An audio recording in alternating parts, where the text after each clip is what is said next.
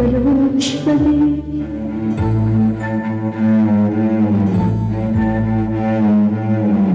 لسه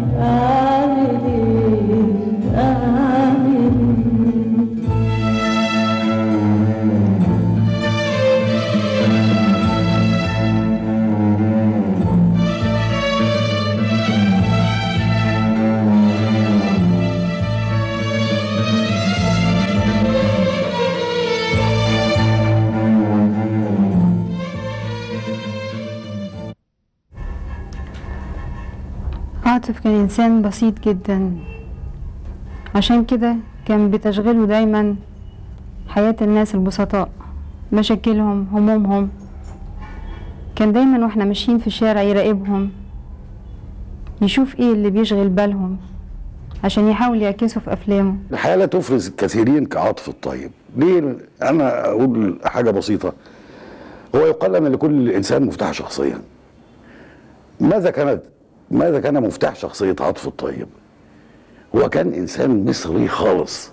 هو كإنسان إنسان عظيم جدا أخلاقه عالية جدا مخلص لكل شيء في حياته.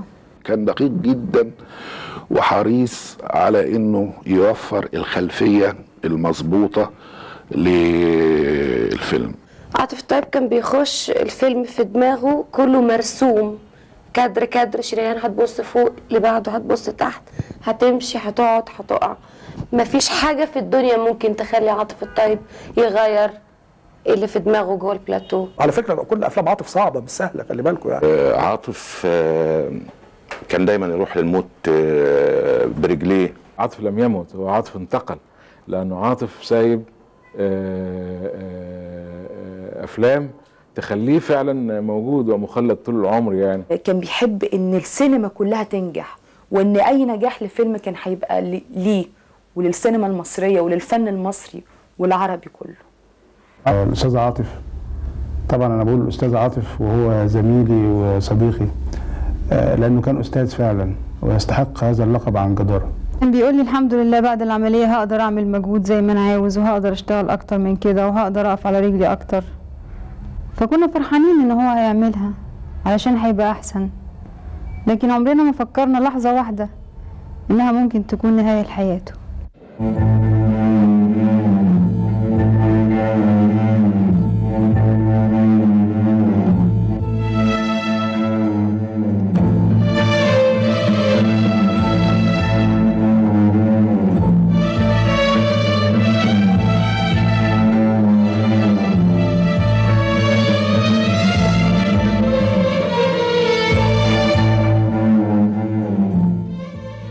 وأنا بذكر هنا جملة قالها الأستاذ نجيب محفوظ آه، في رسالته إلى اجتماع آه، جائزة نوبل قال لهم إن أنا ابن الحضارتين الفرعونية والإسلامية.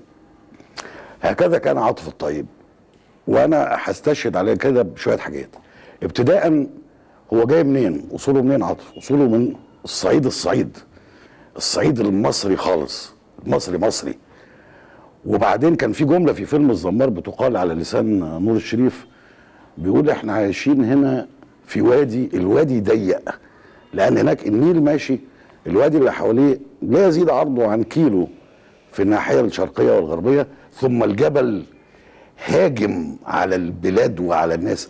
فبيقول ال ال ال ال الأرض هنا ضيقة ومضيقة خلق الناس يعني أرواحهم بسبب ضيق هذه المساحة من الأرض وضيق هذا ال ال ال الهواء مفيش. والنيل ماشي إنما الأرض زراعية ضيقة جدا. فعاطف الطيب جاي من أصول وجذور مصرية مصرية. الفيلم بتاع ملف الآداب لما تعثر انتاجيا وهو وحيد حامد ما عرفوش يدبروا له إنتاج حقيقي قرروا ينتجوه بنفسهم ودي كانت التجربة يمكن الوحيدة العاطف في الإنتاج وأعتقد إنها كانت أول تجربة كمان لوحيد حامد. فكان على عجل لابد من إنهم ينشئوا شركة علشان القانون والحاجات دي. فوحيد حامد سمت شركة أفلام وحيد حامد وخلاص. عاطف طيب سماه فيلم أبيدوس. أبيدوس ده معبد في البلد اللي هو جاي منها من الصعيد. أبيدوس ده معبد فرعوني قديم. فهو هذه الجذور الفرعونية اللي اختار بسببها هذا الاسم ليطلقه على الشركة الوهمية يعني مش شركة ولا حاجة إنما هو كان لإنتاج هذا الفيلم كله بالسلف وبتاع. ثم حين نزحوا إلى القاهرة أين سكن؟ في بولاق الدكرور وبولاق الدكرور من أكثر الأحياء شعبية في القاهرة وكثافة السكان فيه من أكثر كثافات السكان في العالم. فهو جاي من من ضيق الأرض اللي اللي في الصعيد إلى ضيق يعني آه، بولاد إحنا عندنا عدة أحياء في القاهرة. المطلوب من الحكومة أن تعيد النظر فعلا في كيفية إعادة توزيع المواطنين لتكون ال- ال- الحياة أكثر راحة وأكثر سهولة.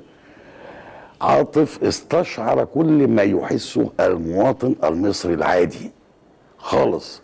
ورغم هذا لم ينتابوا للحظة الضيق من الحياة ولا الانفعال ضد الآخرين ولا الحزن من أن حظه قليل ولا حاجة من دي. بالعكس كان مليان تفاؤل مليان إيمان بهذا الشعب وبمستقبل هذه الأمة. كان فنان حقيقي كان فنان حقيقي يعني مش مجرد مفكر ومش مجرد آه، مهموم بهم اجتماعي لا هو أيضا بالإضافة لده هو كذلك آه، آه، قادر على أن يحاول في تجسيد هذه الأفكار بشكل مبتكر. وهذا هو ما يميز أي فنان حقيقي في العالم.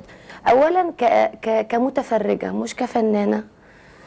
أنا من أشد المعجبات بأفلام عاطف الطيب بره شريهان الفنانة أو الممثلة. يعني مكتبتي قليل جدا الأفلام اللي أنا بحتفظ بيها ليا لشخصي مش بس ليا. أنا كفنانة بشوف جميع النوعيات سواء كان فيلم جيد متوسط رديء مقاولات جوائز فيلم عالمي فيلم أمريكي فيلم مصري. أنا بطلع على جميع النوعيات.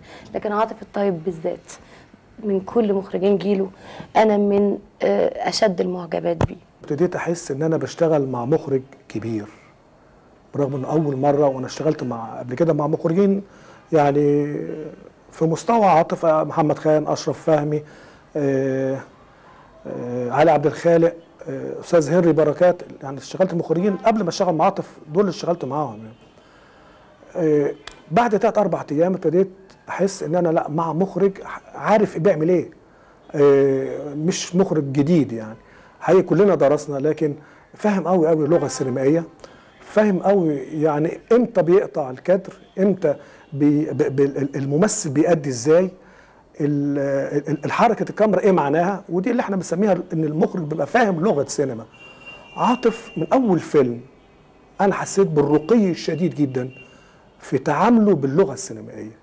لما عرض سواق الاتوبيس عمل زوبعة غريبة ما كانش حد متوقعها لدرجة إنه كثير قوي من الناس السينمائيين وأذكر منهم الله يرحمه بهجة قمر أول ما شافنا قال أنتوا عملتوا الفيلم ده إزاي وإمتى؟ يعني الفيلم ده اتعمل إزاي؟ يعني ابن إيه؟ يعني ابن مين ده؟ آه كان أجمل تعبير سمعته من واحدة. آه ما هياش سينمائية متخصصة إنسانة عادية يعني. قالت أنا كنت بحس إنه أنا ببص من عق من من خرم الباب على ناس حقيقيين. أكبر آه تأثير آه، حصل لنا من أثناء الفيلم ده وإحنا بنعرضه هو الفيلم ده لف كل دول العالم ودخل كل مهرجانات العالم بدءا من الصين وانتهاء بالمغرب ومرورا طبعا بأوروبا كلها يعني يعني فيلم غريب يعني. ف وفي وفي معظم الحاجات كان بياخد جوائز كان بيحصل جوائز ولا استحسان يعني. ف ولكن أكثر تأثير حصل حصل في الهند. كان شيء صعب بالنسبة لنا يعني. هو إن إحنا بنعرض الفيلم آه، آه، طبعا خد استحسان ناس من بتوع جهاز التحكيم ومن آه، السينمائيين. لكن أكتر تأثير لما عرضناه في السفارة المصرية في الهند وفي نهاية الفيلم واحدة مصرية صوتت وأغمى عليها. فبقينا بنجري نشيلها عشان نحط لها انه يفوقوها وكده هوت.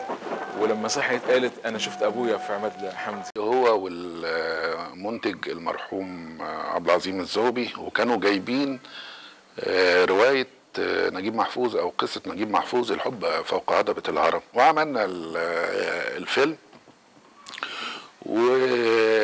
وافتكر جه واحد من مسؤول من مهرجان كان واختاروا آه، إنه يمثل مصر في في مسابقة الكنزان. دي المسابقة الثانية بعد المسابقة الرئيسية. وده يمكن كان أول فيلم آه، يعرض لمصر في مسابقة الكنزان في مهرجان كان. بفكرة مهمة جدا إن السينما في مجتمع زي مجتمعنا يتمتع بنسبة اميه للأسف كبيرة جدا. آه، مش ممكن تكون وسيلة ترفيه وبس مش ممكن تكون أرجوزات وبس. إنما ليها وظيفة اجتماعية بل وظيفة تحريضية للعقل نفسه عشان يفكر. فده كان ارتباط تعاطف المباشر بالأمر إنه رغم إنه بيعمل سينما ممتعة جدا شكلا متقدمة جدا فنا إنما هي قضية اجتماعية من الدرجة الأولى من أجل البحث في مشاكل ال- اللي منتابة المجتمع المصري في هذا العصر. عشان كده كان بتشغله دايما حياة الناس البسطاء مشاكلهم همومهم. كان دايما وإحنا ماشيين في الشارع يراقبهم يشوف إيه اللي بيشغل بالهم عشان يحاول يعكسه في أفلامه. أحيانا لما كنا نبقى ماشيين ويشوف عسكري المرور كان يقف ويسلم عليه ويهزر معاه. كنت أقول له إيه يا عاطف بتهزر معاه؟ أنت تعرفه ويقول لي الناس دي ناس بسيطة جدا. واقف طول النهار في الحر ولا في البرد مفيش حد بيكلمه مفيش حد بيحييه. ليه ما نقعدش نتكلم معاهم؟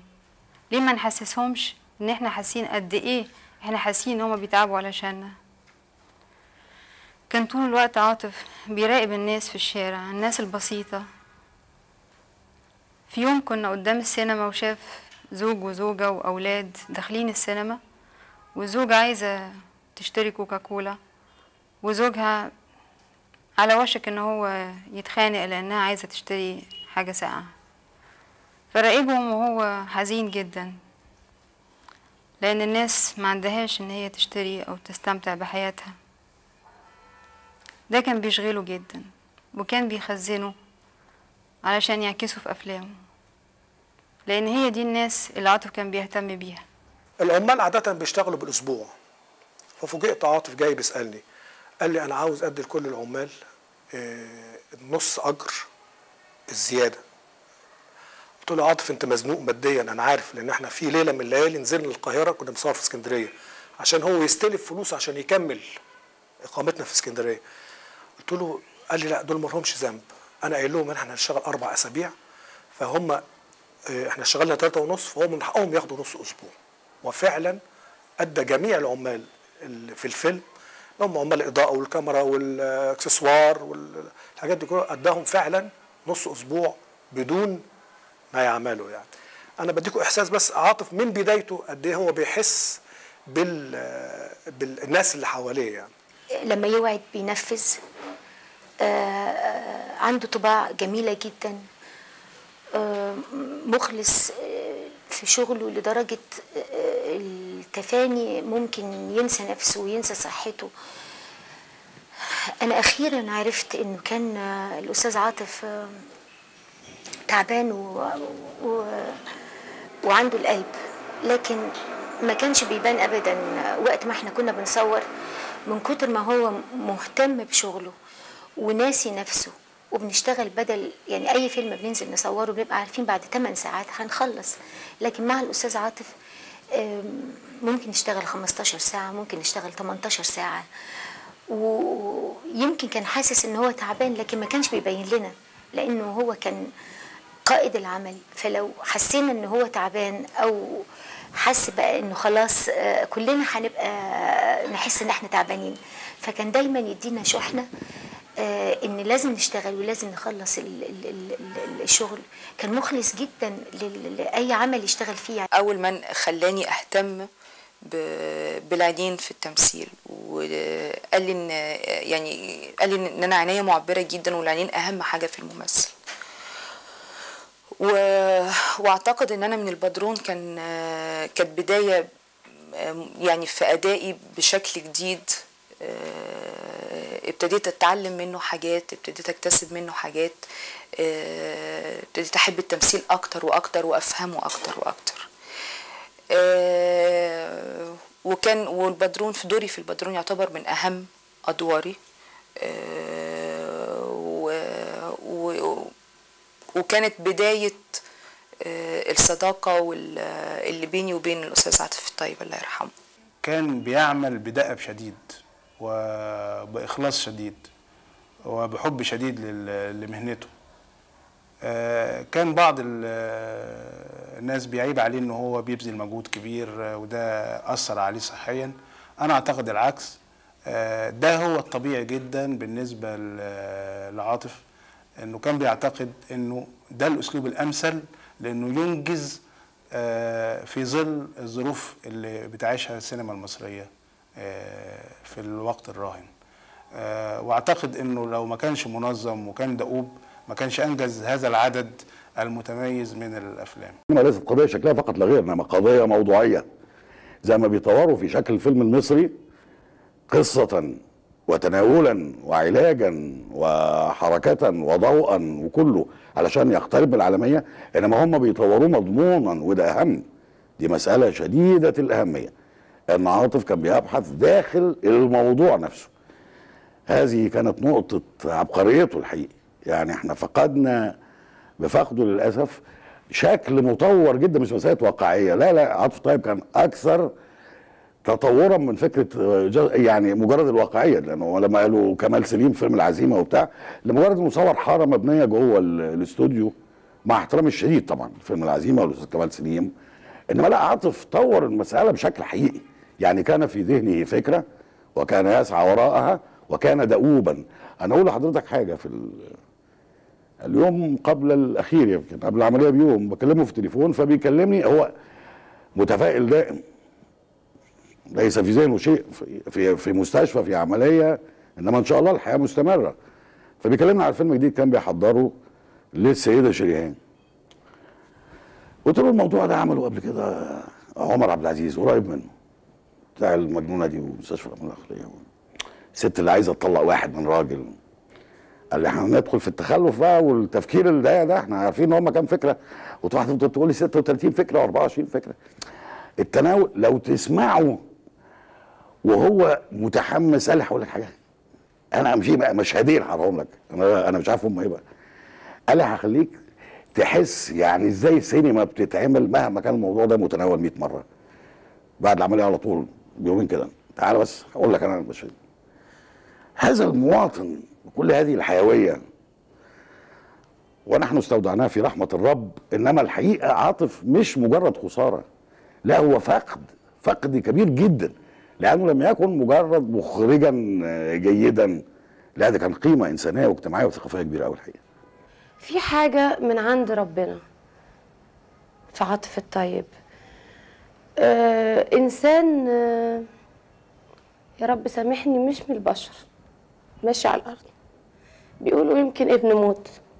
لكن أنا كنت كنت شايفة إن عاطف الطيب مش من الدنيا. هو أحسن كتير من اللي إحنا فيها. قعدت معاه ما قدرتش أسأله. وما قدرتش أتكلم. بدأ يقرأ الفيلم جبر الخواطر. آه، بدأ يرسم لي الشخصية. قعدتي إني أبتدي أسأل مين مونتير؟ مين مدير تصوير؟ مين أبطال؟ ما بقيتش ما بسألش. ما بتكلمش. عمالة بعمل له كده وبس. بدأ يقرأ الفيلم. ما كنتش فاهمة حاجة من الفيلم. هو بس اللي فاهم. كان في جملة في الفيلم بتقول آه، أشرف عبد الباقي بيقول لي عرفتي حكاية النورس اللي فضل يطير يطير يطير وفرد جناحه وطلع في السماء؟ البنت في مستشفى أمراض العقلية فبتقول له وبعدين وصل لإيه؟ بيقول لها أهو ده اللي محدش لسه عارفه. الجملة دي بتتكرر مرتين في الفيلم فأنا قلت له أنا مش فاهمة الجملة دي يعني إيه. عاطف الطيب هو بيقرأ الفيلم قال لي بس أنا فاهم. كما ولو كان آه، عاطف الطيب بس هو اللي عارف النورس ده وصل لإيه. كان في طموح أن نصل إلى ما يمكن أن يسمى روح هذا الشعب أو هذا المجتمع إنه مفيش حاجة بلا روح إنه الفن بيتعامل مع روح الأشياء لا يتعامل مع الأشياء ذاتها لكنه يتعامل مع روح هذه الأشياء. مع عاطف كنا فعلا في سبيل الوصول إلى ده من خلال العديد من المشروعات التي كانت مطروحة. طرحناها منذ البدء قربنا منها في سواق الأتوبيس. عندما نتحدث نتحدث عن الورشة. الورشة في سواق الأتوبيس ليست مجرد ورشة ليست مجرد ماكينات. المكان في سواق الأتوبيس في سواق الأتوبيس ليس مجرد أتوبيس.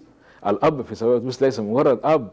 ال ال ال ال ال ال هذه ال هذا الهامش الشعري للواقع هذه الروح المحاولة للإمساك بروح آه، ال- المكان والإنسان والمجتمع والشعب.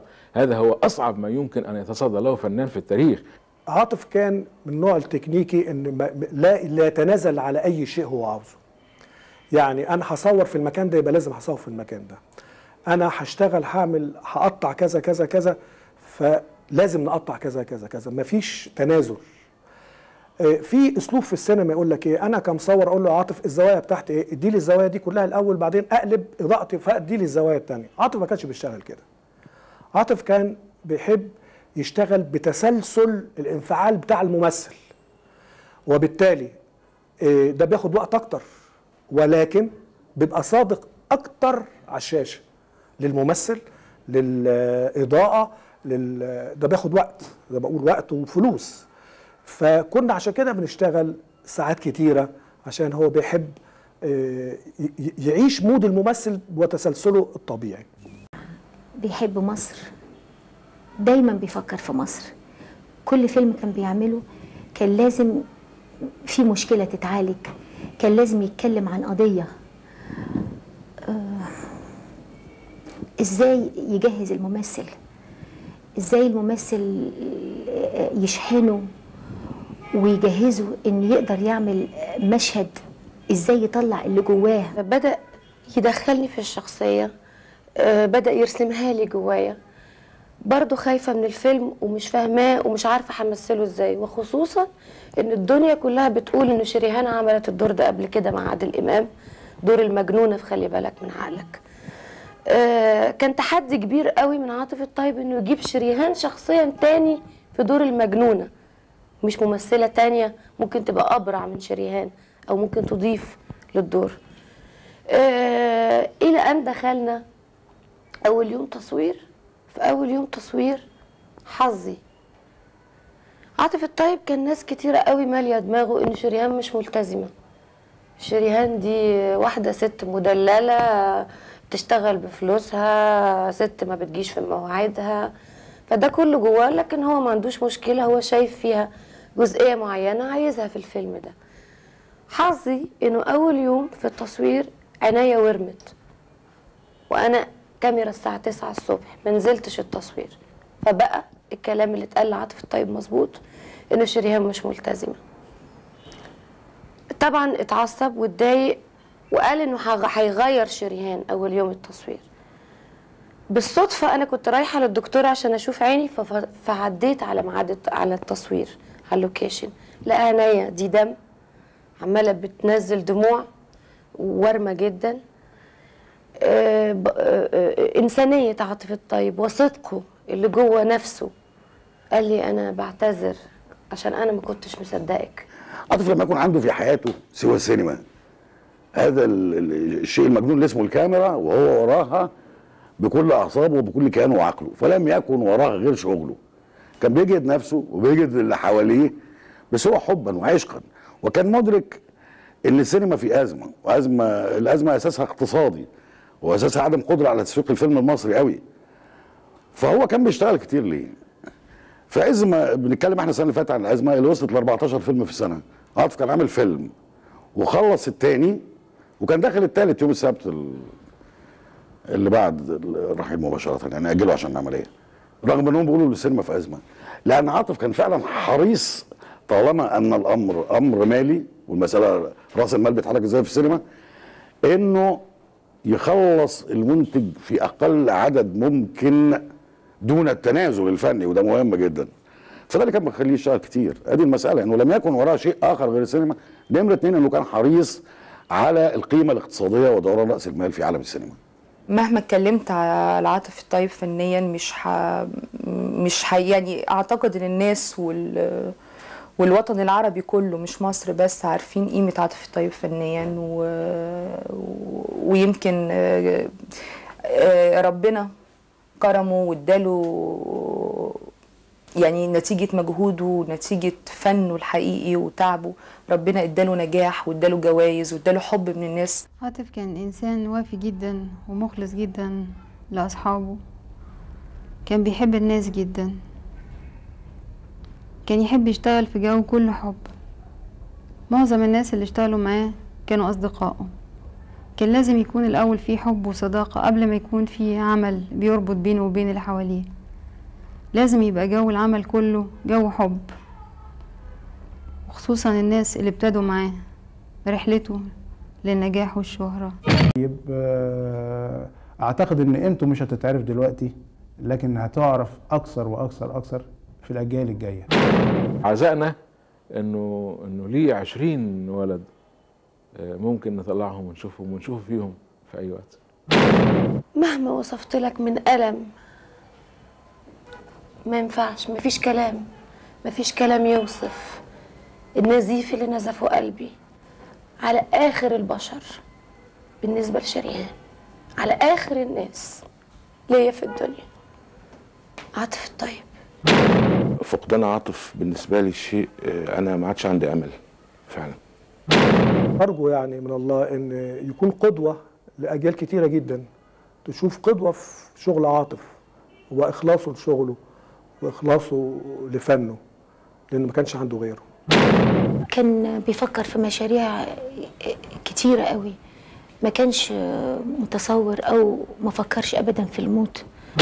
عاطف الطيب هيفضل معانا بأعماله وهنفضل آه، فاكرينه ومش هننساه.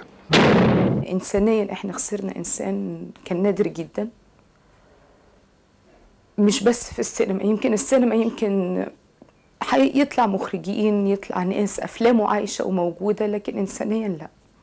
عاطف طيب مش هيتعوض إنسانيا؟ الله يرحمه ويصبر أهله ويصبر أصحابه. و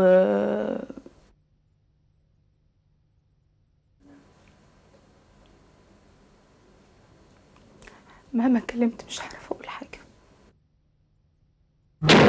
وتظل أفلام عاطف الطيب كتاب صادق ناطق موجود بيشع حرارة لمستقبل الأيام كلها. زي ما عاطف حب الناس. وحب يقدم لهم فن جميل وراقي وصادق يمس قلوبهم. الناس كمان حبته وشاركوني في حزني على عاطف وخلوني أحس إن عاطف ما ماتش وإنه هنفضل دايما بينا بفنه وبأخلاقه.